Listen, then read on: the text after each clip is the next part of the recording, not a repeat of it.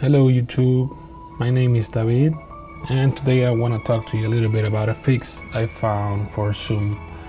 About a week ago I updated my Zoom app and all of a sudden my Ultra Studio mini recorder stopped working and I just flipped. I mean like everybody today is using Zoom and I'm sure like every one of you around here want to use your DSLR camera in Zoom so I was doing some research. I tried out a, a lot of different options but none of them work. And today I found a solution and I want to share this with you. So let's get to it.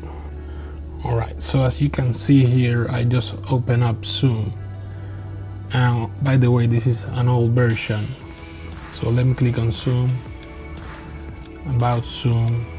This is version 4.6.8 and on this version is working properly. But when I made the update that's when I have uh, that's when I had trouble uh, using my Ultra Studio mini recorder.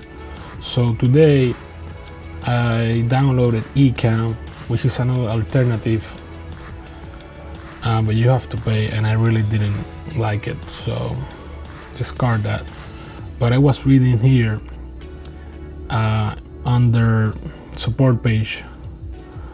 We important note we are tracking a new issue where the current version of Zoom does not load virtual camera devices. We have alerted Zoom and we are hope, hoping they will fix this. Meanwhile, to work around this, download this older version.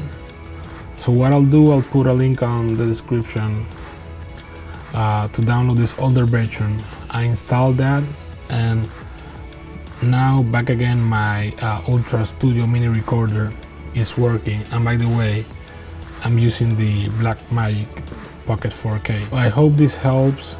I'll put the link in the descriptions and see you in the next time